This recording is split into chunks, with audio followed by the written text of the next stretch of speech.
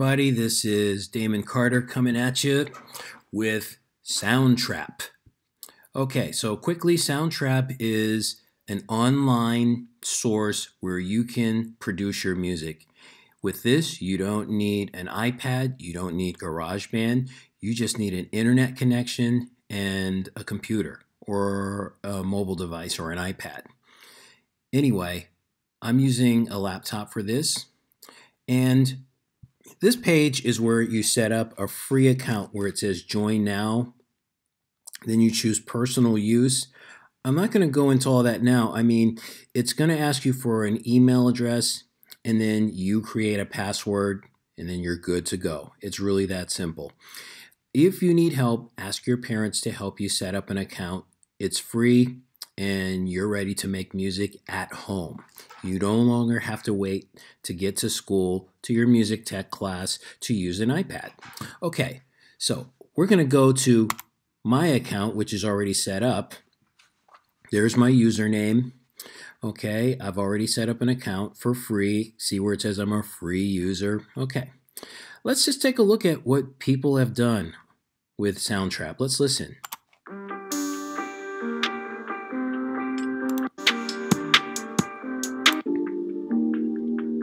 You can scroll through different parts of a song and listen to it.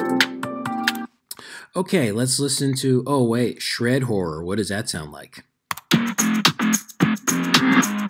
Okay, very cool. So that just gives you a quick look of what you can do with Soundtrap.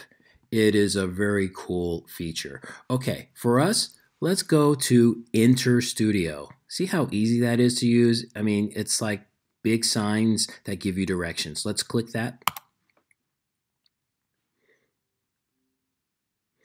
Okay, it gives you a choice of making a podcast. You want to tell the world what's on your mind? Make a podcast. But for our purposes, it's music. Let's make music. Okay, so all this empty space here is where you put your music and you listen to it. Over here is where you add tracks. Okay. Uh, now, like GarageBand, this has a feature with loops. So see this uh, music note icon here? Let's click that. And here are your loops. Uh, in case you're not sure what loops are, I'll tell you they are automatic music. So they're pieces and samples of music that you can put together like a puzzle to make a song. So let's try, you know, I like to start with a drum loop. Let's look for a drum loop. Uh, I found this one called Busy Basics that is really cool. So, busy. And you don't really have to uh, spell it all out, but here is Busy Basics. Now, to hear how it sounds, let's just click it.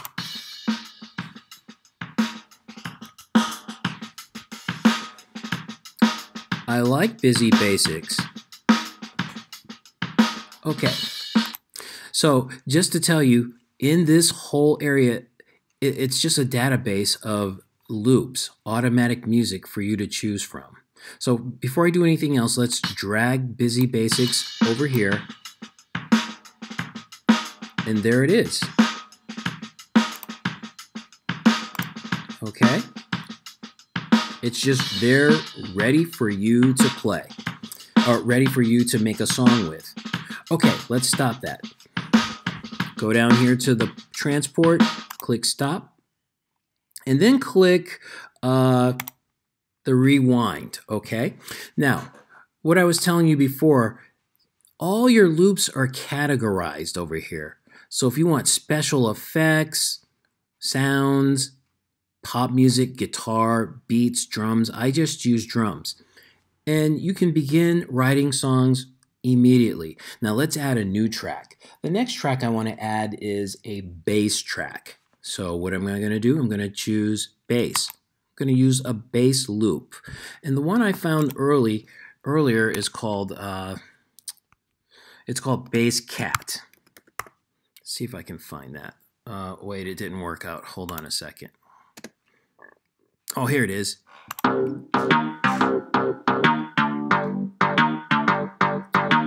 I think I like Bass Cat. So what am I going to do? I'm going to drag it over here for my new track. Watch.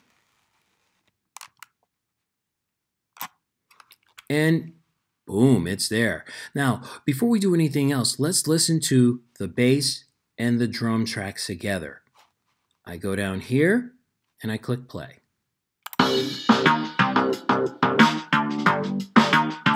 See how easy that was? Love the way that sounds. Okay, let's stop that there. What are we going to add next? Well, I think I'm done with the loops, meaning the automatic music. I'd like to play something on my own to add to these loops.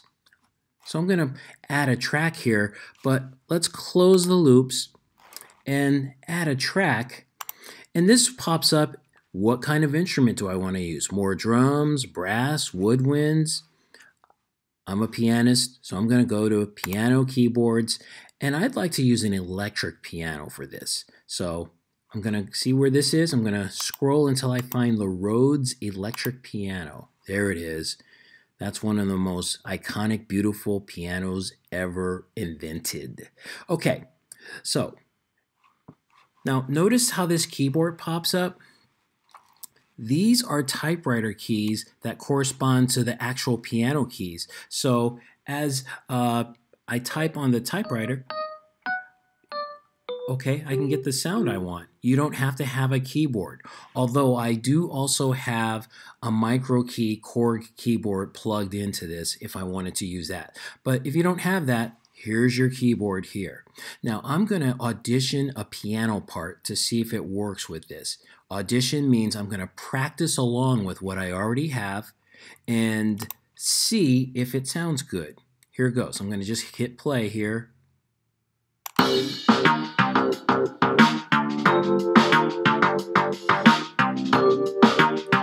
I'm pressing three keys at a time on the typewriter.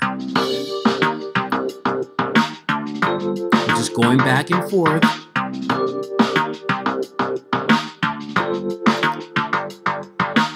I think I like that. So what will I do? I will record that part. I really like that. Before I can record it, I need to go down here and start the track over from the beginning. Oh, here's the one I pressed, the one with the line here it automatically goes to the very beginning.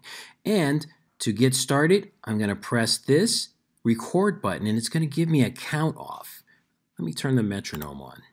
It's going to give me a count off of eight beats so I'll know where to start. Here goes.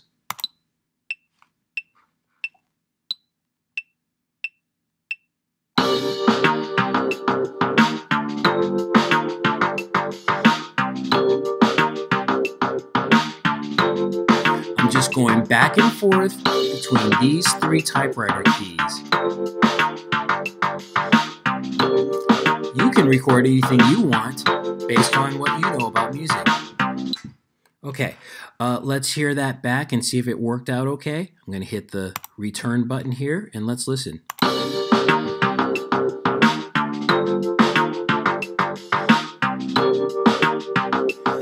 I don't need the metronome anymore, so I'm going to turn it off. Okay, we like that. Now, let's add one more thing.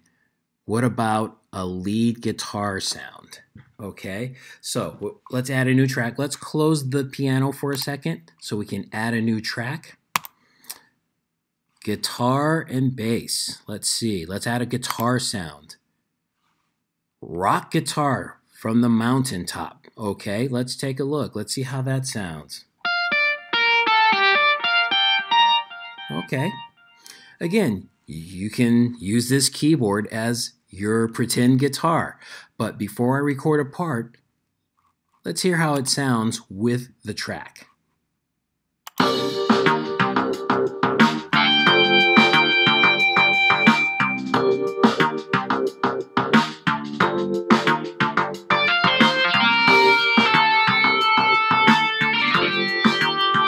Oh yeah, I like that. Now let me try something on the keyboard, actual keyboard.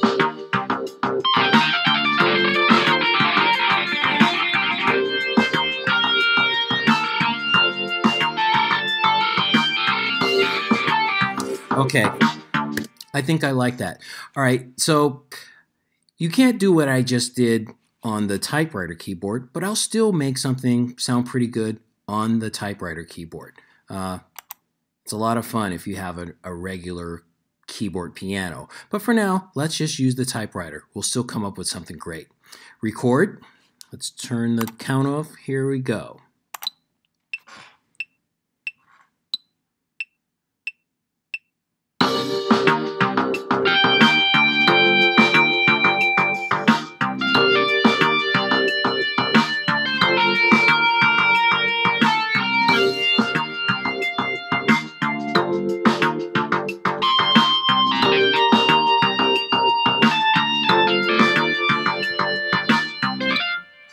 Okay.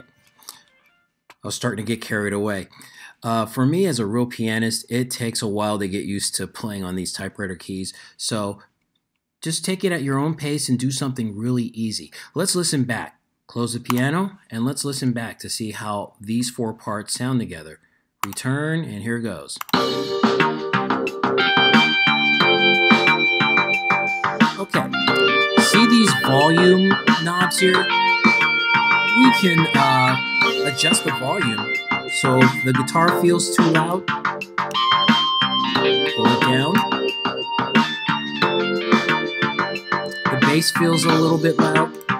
Maybe, maybe turn the bass down a little bit. Turn the piano up maybe.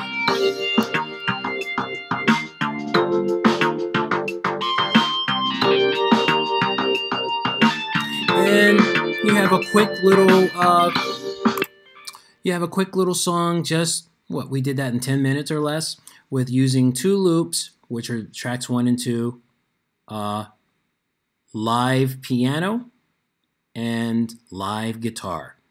Okay well happy recording everyone. I hope this helps you get started on soundtrap